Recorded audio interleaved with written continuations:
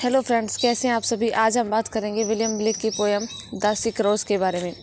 William Blake का जन्म 28 नवंबर 1757 में होता और उनकी डेथ हुई थी 12 अगस्त 1827 वो एक इंग्लिश पोएट थे रोमांटिक एज के और उन्होंने songs of innocent and songs of experience लिखा था।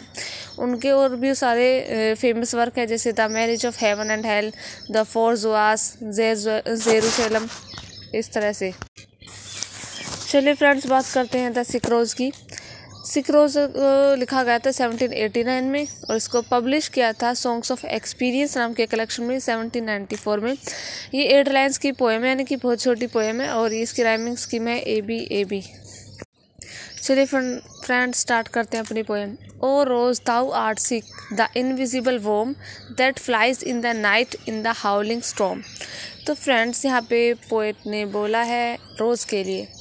कि हे, कि रोज़ तुम्हारे पास तुम बीमार हो और तुम्हारे पास एक इनविजिबल कीड़ा आया है, जो कि रात के अंधेरे में आया है।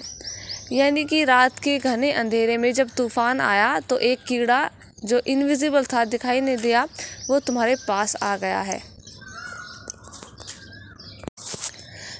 नेक्स्ट पैराग्राफ में देखते हैं।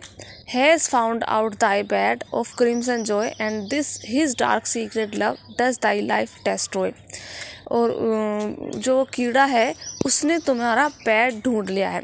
यानी रोज़ के लिए बोला जा रहा है कि तुम्हारा बैड ढूंढ लिया यानी कि जहाँ पर तुम उगे हुए हो, उस क्रिम्सन जोए को। क्रिम्सन जो है वो रेड कलर के सिंबल होता है और रोज़ भी रेड कलर का होता है तो उसने तुम्हारा वो जो एन्जॉय है क्रिम्सन जॉय उसे ढूंढ लिया उस कीड़े ने।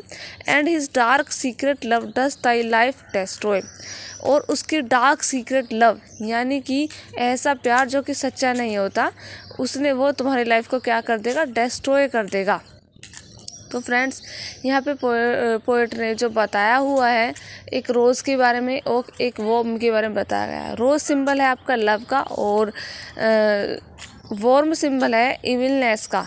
यानी कि की, जो कीड़ा है वो सिंबल है आपका सेल्फिशनेस का। यानी कि जो हमारे अंदर प्यार होता है, वो सेल्फिशनेस के कारण डिस्ट्रॉय हो जाता है।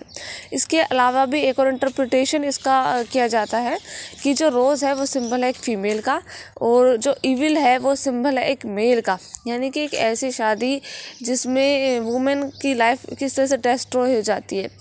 यानी कि एक अनसक्सेसफुल वुमेन की लाइफ जो होती है, उसके बारे में इसे सिम्बलाइज़ किया गया है। तो फ्रेंड्स आपको कैसी लगी मेरे को कमेंट करके ज़रूर बताइएगा। Thank you.